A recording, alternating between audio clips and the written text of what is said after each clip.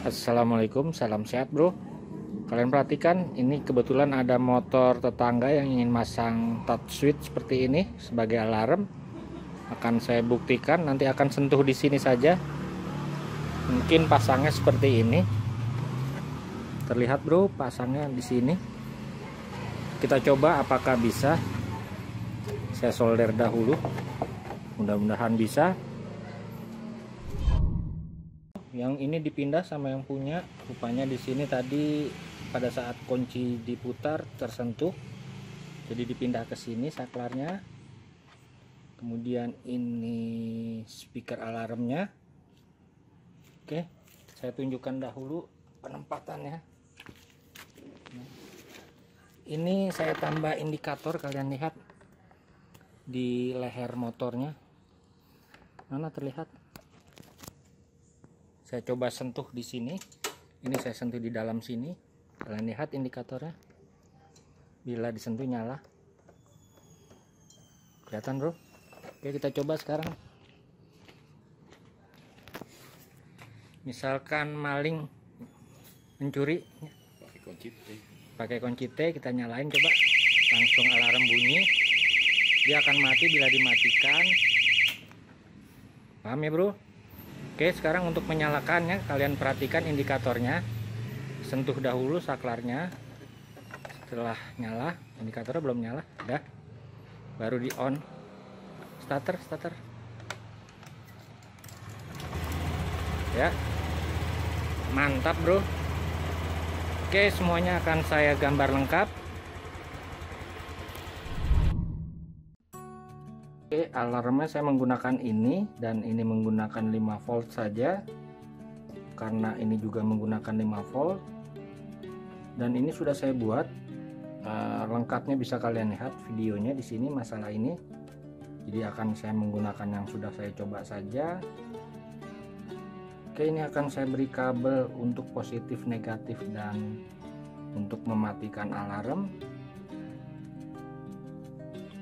jadi ini positif negatif dan data. Saya solder dahulu. Oke seperti ini positifnya ini negatifnya kemudian datanya. Akan saya patenkan. Seperti ini. Pasang di sini saja. Oke saya coba dahulu 5 volt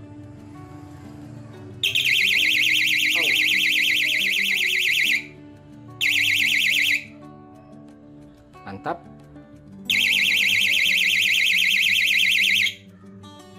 Jadi ini bila lepas dari ground akan on. Jadi normally close. Kita pasangnya di normally close di relay. Oke saya solder dahulu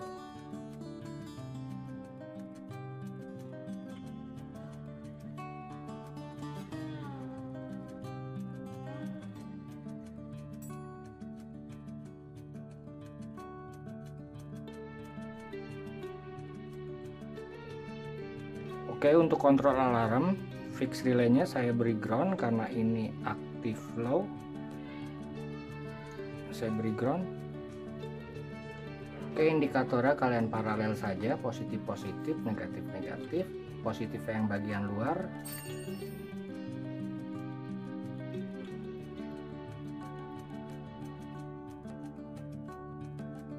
Oke seperti ini saja saya coba dahulu. Ini kunci uh, motornya ceritanya. Oke saya beri catu 12 volt. Kreatif jangan sampai salah dalam mencoba. Saya coba saklara dahulu. Apakah indikator nyala? Nyala bro. Kalian lihat nyala mantap. Oke kemudian saya coba. Bila di saklar dinyalakan bila ini tidak ditekan maka alarm akan bunyi. Saya coba.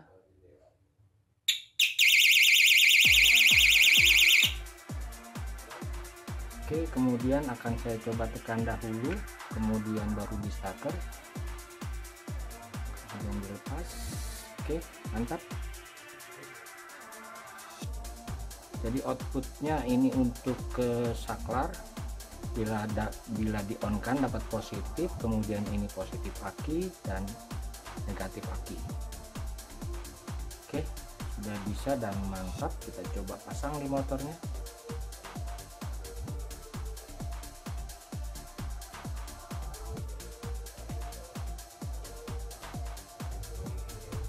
Oke, saya rasa mantap ini.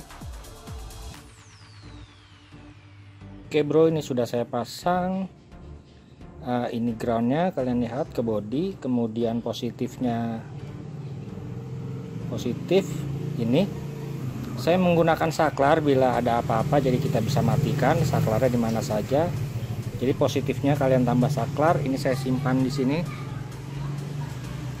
Oke, kemudian ini switchnya bila on nanti saya gambar lengkap jangan khawatir sudah tidak ada masalah ini alarmnya. Oke akan saya pasang switchnya di sini.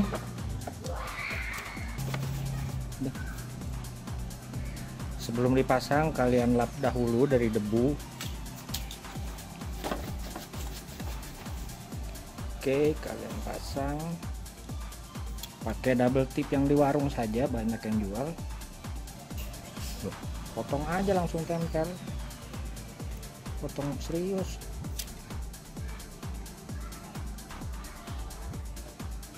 Kalian double tip saja yang akan kalian tempel karena kurang dalam.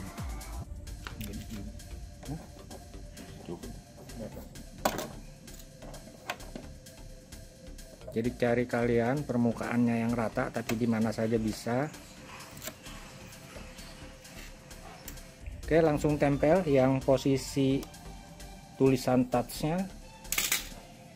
Oke tempel.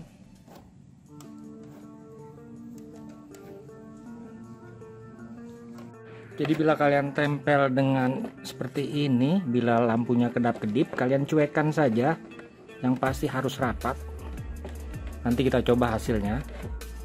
Jadi bila kedap-kedip biarkan saja. Oke saya rapikan dahulu Oke, skematiknya seperti ini. Kalian lihat warnanya saja. Jadi ini kabel hijau seperti yang di video, kemudian ini kabel merah dan ini kabel hitam.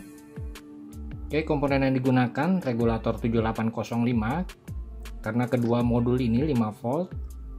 Ini modul sentuh, kalian perhatikan warnanya sesuai dengan video. Merah, kuning, hitam.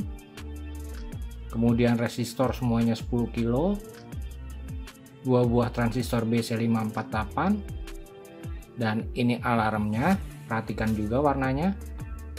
Alarm ini akan berbunyi jika warna kuning lepas dari ground.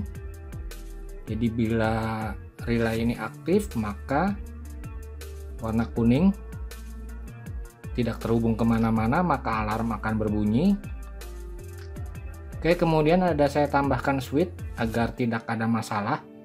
Jadi agar rangkaian ini tidak disalahkan bila ada apa-apa, sebetulnya tidak masalah. Jadi bila switch ini kita off kan, maka otomatis sudah tidak pengaruh lagi karena tidak ada yang diputus. Dan ini kunci kontaknya.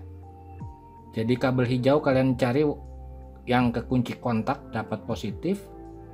Kemudian warna merah yang langsung ke aki positif pasti ada di setiap kendaraan. Kemudian kabel hitam ke body atau ground. Oke cara kerjanya sederhananya. Pada saat kunci kontak di on kan atau bila maling menggunakan kunci L maka alarm akan berbunyi terus sampai di off kan atau di off kan dari saklar sentuhnya Kemudian cara penggunaannya sebelum saklar kontak kalian on kan, kalian sentuh dahulu saklar sentuhnya, baru kunci kontak kalian on kan. Dan ini sudah normal kembali. Dan keuntungan rangkaian ini pada saat kalian off kan atau berhenti menggunakan motor, kalian diamkan saja ini otomatis sudah bekerja.